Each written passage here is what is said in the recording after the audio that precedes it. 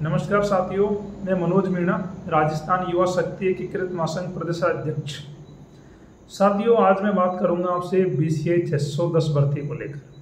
साथियों, आपको पता है बी सी आई छः सौ दस भर्ती का जो मामला है, अभी बोर्ड में अंतिम परिणाम को लेकर हम उसके लिए प्रयास कर रहे हैं। साथियों, चाहे बी सी भर्ती को लेके, हमारा प्रयास कमेटी बनवाने से लेके, दोनों क्वेश्चनों के आंसर चेंज कराने को लेकर रहा हो, चाहे साथियों, परिणाम को लेकर रहा हो।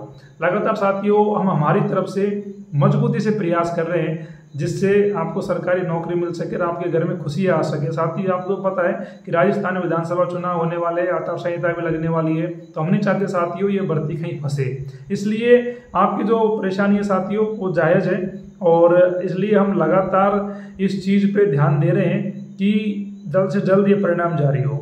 लेकिन साथियों, आपको याद है कि अभी हम पिछले चार पाँच दिन पहले अधीनस्थ बोर्ड के पूर्व चेयरमैन हरिप्रसाद शर्मा जी से मिले थे इस भर्ती को लेकर और हमने कहा कि ऐसा मामला है, ये भर्ती, छोटी सी भर्ती है, आप इसका परिणाम आप जारी करिए और इसमें आप समय मत लगाइए। तो उनका कहना था कि हम आठ दस दिन में इसका परिणाम जारी करेंगे। साथियों, उसके बाद में आज बी सी आई के साथी मेरे साथ में बोर्ड आए और उसमें से एक भाई दिनेश और राउत दोनों साथ में थे डेलीगेशन में। अधिकारियों और सचिवों से हमने मुलाकात करी साथियों।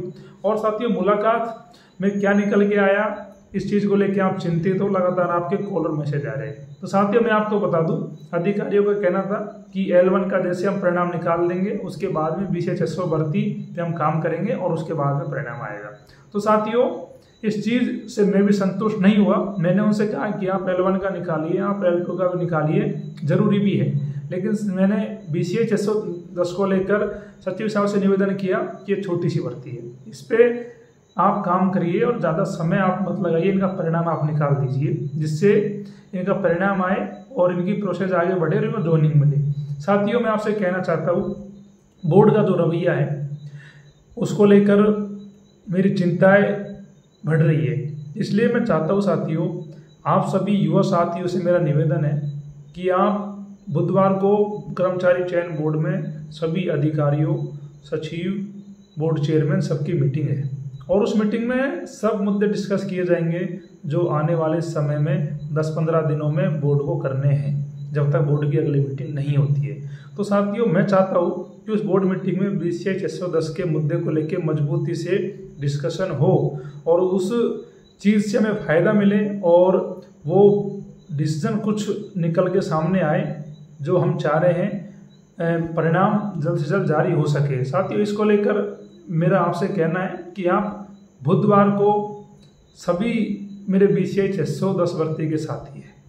आपको अधीनस्थ बोर्ड ग्यारह बजे आप आओ, जिससे हम मजबूती से आपकी बात को उस बोर्ड मीटिंग तक पहुँचा सके। क्योंकि साथियों हम नहीं चाहते परिणाम में विलंब हो और देर हो। इसलिए साथियों मैं आपसे कह रहा हूँ, संघर्ष करना पड़ेगा, मेहनत करनी पड़ेगी। साथियों, नौकरी का सवाल है। नौकरी बहुत मेहनत बहुत संघर्ष से मिलती है।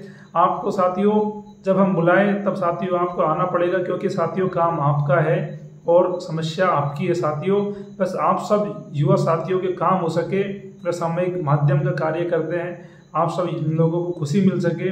इस चीज़ को लेकर हम प्रयासरत रहते हैं। तो साथियों, आप सब युवा साथियों को पहुँचना है बोर्ड।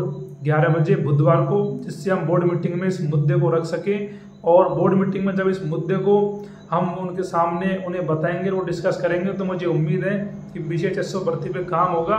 लेकिन साथियों, आज जैसे आपकी संख्या कम थी, आज आपके आठ दस साथी आए।